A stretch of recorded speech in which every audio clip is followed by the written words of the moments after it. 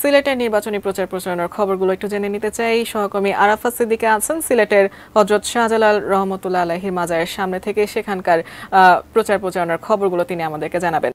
আরাফাত সিদ্দিকি, কি অবস্থা দেখছেন সিলেটের প্রচার প্রচারণার খবর?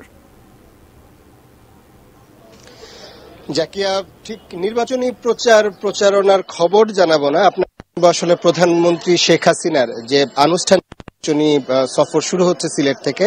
সেই খবরগুলো জানাব। জানেন যে বিশ তারিখ অর্থাৎ আগামীকাল সকালে মাননীয় প্রধানমন্ত্রী এবং আওয়ামী লীগ সভানেত্রী তিনি এখানে আসবেন সিলেটে আসবেন। প্রত্যেক প্রত্যেকবারই তিনি আসলে তার নির্বাচনী আনুষ্ঠানিক নির্বাচনী যে প্রচার কাজটি সেটি শুরু করেন। সিলেটে এসে এই হযরত শাহজালাল রহমতুল্লাহ আলাইহির আহ, মাজার জিয়ারত করার মধ্য দিয়ে এবং তারপরে তিনি হযরত শাহপরান রহমতুল্লাহ আলাইহির আহ, মাজার জিয়ারত করেন এবং এখানে এই সিলেটে আনুষ্ঠানিকভাবে জনসভার লীগ সভানেত্রী তার নির্বাচনী প্রচারণার কাজটি শুরু করেন। বলা হয় যে একটি মিথ রয়েছে যে সিলেট এক আসন থেকে তারাই সরকার গঠন করে। এই মিথটি আসলে এতটাই প্রবল যে এখন পর্যন্ত তার ব্যতিক্রম হয়নি। তো এই একটি বিশ্বাস তো সাধারণ মানুষের রয়েছে এবং আপনি জানেন যে বাঙালি মুসলমান হিসেবে বঙ্গবন্ধু কন্যা শেখ হাসিনা, তিনি তার ধর্মের ব্যাপারে তিনি যথেষ্টই সচেতন। তিনি সেই সকাল উঠে যেমন ফজর নামাজ আদায় করেন, তেমনি তিনি চেষ্টা করেন যে তার দিক থেকে একজন মুসলমান হিসেবে যাতে তার যে এবাদতগুলো সেগুলো যাতে সঠিকভাবে তিনি পালন করতে পারেন।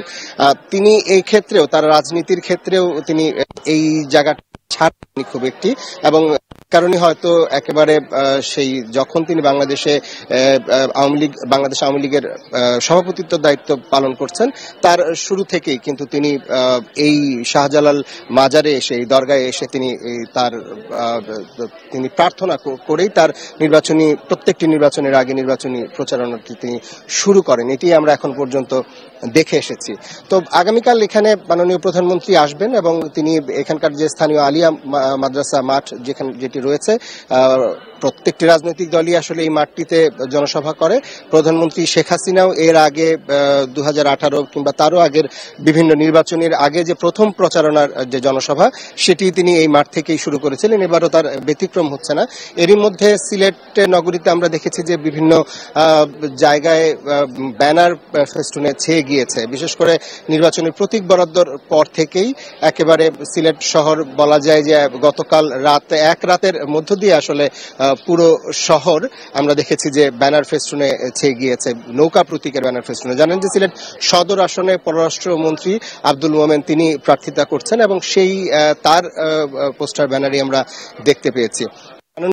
এই ফাঁকে একটু জানিয়ে রাখি, এই এর মধ্য দিয়ে মাননীয় প্রধানমন্ত্রী তার নির্বাচনী প্রচারণা শুরু করছেন এবং সারা দেশের আরও কিছু জায়গায় তিনি যাবেন। তিনি টুঙ্গিপাড়া তার নিজ নির্বাচনী এলাকায় যাওয়ার কথা রয়েছেন, তার আগে মাদারীপুরে যাওয়ার কথা রয়েছে, তারপর বরিশালের যাওয়ার কথা রয়েছে, এমন নানা জায়গার জনসভার কথা আমরা আমাদের প্রতিনিধিদের মাধ্যমে শুনতে পাচ্ছি, তবে এখনও নিশ্চিত করে সেই জনসভাগুলোর খবর কিন্তু আমাদের কাছে ছিল আমার কাছে সিলেট থেকে সবশেষ।